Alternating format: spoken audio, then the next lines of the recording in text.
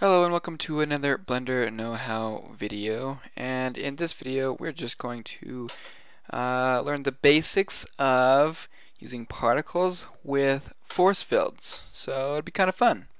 Uh, let's go ahead and get started. This is kind of something similar. Uh, I just made this to demonstrate a little bit of what we're going to be getting into. This is the Blender my output file that I had when I created this earlier and so we're going to create it based off of this. So I'm going to go ahead and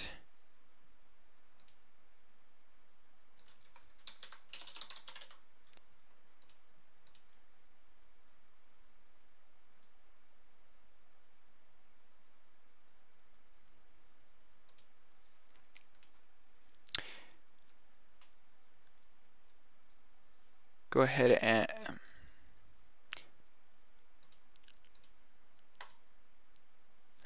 start a new, I'm going to go ahead and get a new Blender file.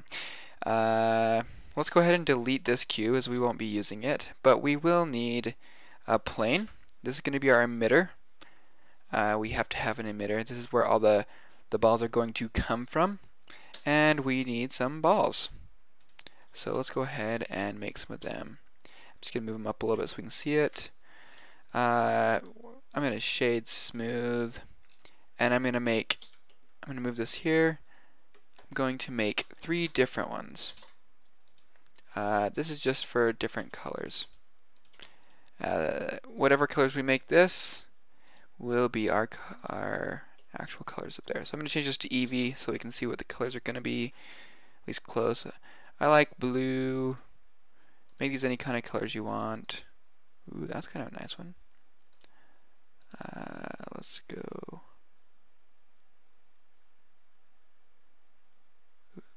Green's not bad. Yeah, somewhere in there. I don't actually like that anymore. Do something like that. So that's what I've got now. Let's click on our emitter and make a new particle system down here in this tab. And I'm going to have it all emit between the first and second frames. You can make them all on the first. That would work fine too, but I'm just going to do the second one. Probably give it a little bit of variance uh, as that actually does happen. So now let's go into the render tab and change this from halo to collection. Oh, and we need to make a collection actually. So select all three of our objects and hit Control G. That will make a new group or collection is what they're called in Blender 2.8 and name this balls or whatever you want. Uh, click on our particle system emitter and go to collection and click on right here and balls. Now if we just play this we'll see those actually are each and every one of those are our balls which is working great. Uh, next let's hit well actually they're really teeny so let's make them a little bit bigger by just scaling them up a little bit and this will actually, you'll want to test this before you hit play. Okay, because if you make them too big, here, I'll actually show you. If you make them too big, uh, sometimes they collide with each other. Uh, luckily, that's actually not happening. They, oh, it's because of this. We need to change one more setting. Uh, we have no real physics on these, or they, there is, but they're not the kind of physics we want. Uh, I really like the fluid for at least this simulation. You can do whatever you want. I mean, there's a lot of things you can do whatever you want, but uh, this fluid one will look pretty well. Uh, but if they're too big, you'll get an explosion instead. It's like you're shoving millions of water molecules or particles into a very small area. As soon as that area is let free, it, the water will actually do something like this. Uh, so let's let's actually just decrease the size of that to 0.23 or something. Yeah, so we do want a little bit of expansion and a, and a little bit of like this. That's that's okay. That's but the cool thing about fluid is the way it looks. So I'm going to end the frame here at 100 so that we can see what's going on.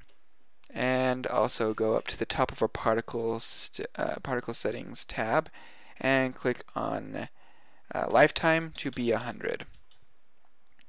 Now we can see a little bit more of what's going on. That's kind of what the fluid does. Is you'll you'll have areas well they they want to bunch together, kind of like fluid. Right after it rains, like on a car window, you can see this pretty obviously, where like there's little molecules or the little water bubbles everywhere on your car, but they're like clumped up. They're not. It's not spread out. Uh, this is what this is trying to do, and so I like that. You don't have to do it this way, but now, second off, just hit Shift A, add, and then go down to uh, an empty, and just do plain axes. We're going to use this little empty, and this doesn't have to be an empty. You can use an object, but I'm using an empty, so. And then go click on the Physics tab and hit Force Field. And then you can leave that on Force, and now hit play. Nothing happens. But it probably is happening. It's just so little that we don't notice it. So what happens if we decrease or increase this? Okay, so I just realized something while making this video, that you need to, for this to work, whoops, if we click on this, for this to work, you will need to change this, or, or you may need to. This doesn't happen all the time apparently, but sometimes you will just need to change this from force to like wind, and then back to force, and things will work again. So if you're having a little bit of weird issues with that, go ahead and do that. So the thing is, is if you have a force and you add to it, it's just going to push it away. So like Let's put the force underneath these particles and watch what happens. Because it's an addi addition force, it's like pushing it away. The force is going from here out. So let's change this from a positive to a negative. I hope you saw what just happened right there. It kind of like goes toward it. So now let's just put this up here a little ways.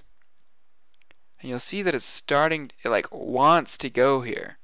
So let's just increase it in the negative direction. And we're getting some pretty cool stuff now.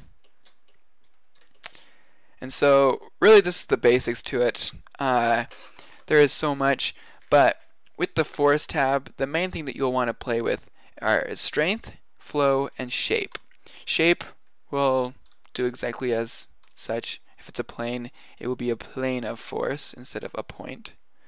Um, however, I like the way the point one looks.